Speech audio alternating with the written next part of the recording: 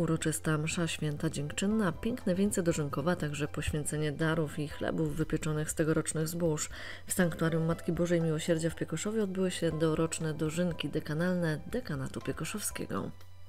W dożynkach dekanalnych dekanatu piekoszowskiego udział wzięli przedstawiciele wszystkich parafii, jakie należą do dekanatu piekoszowskiego, a są to parafie Schelmiec, Ćmińska, Jaworzni, Łosienia, Piekoszowa, Rykoszyna, Strawczyna, Szczukowic i Wiernej.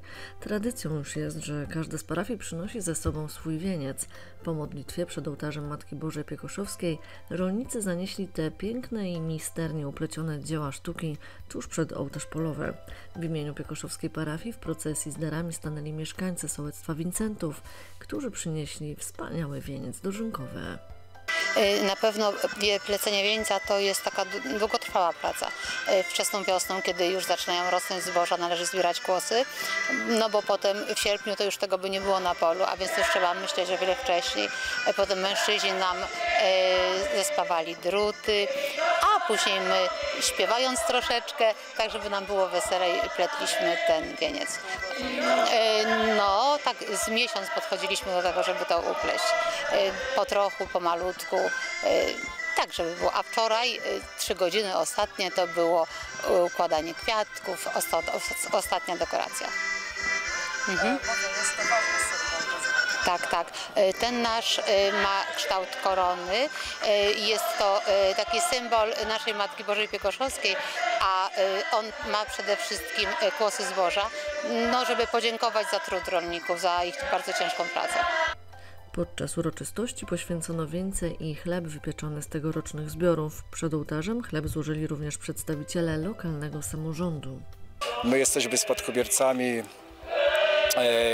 tej pięknej tradycji, bo jak wiemy po raz pierwszy się odbywały w XVI wieku. Dlatego też staramy się obchodzić godnie i, uroczyście. Dlatego też e, dziękowaliśmy podczas tych dożynek dekanalno-gminnych em, rolnikom za trud, e, za efekty tegorocznej pracy. Właśnie takim symbolem e, tegorocznych plonów był ten chleb e, upieczony e, i przyniesiony przed ołtarz, jak również e, wieńce uplecione przez poszczególne delegacje, które tutaj widzieliśmy. Oczywiście złożone warzywa, owoce. Zdaniem przewodniczącej Rady Gmin Piekoszów Barbary Drogosz praca rolników nie należy do najłatwiejszych. praca wymagająca dużo wysiłku fizycznego, ale również bardzo uzależniona, nie oszukujmy się, od y, otoczenia, od pogody. Y, Pogoda ma bardzo duże znaczenie w rolnictwie i jeżeli rok jest trudny, to rolnik musi się naprawdę napracować.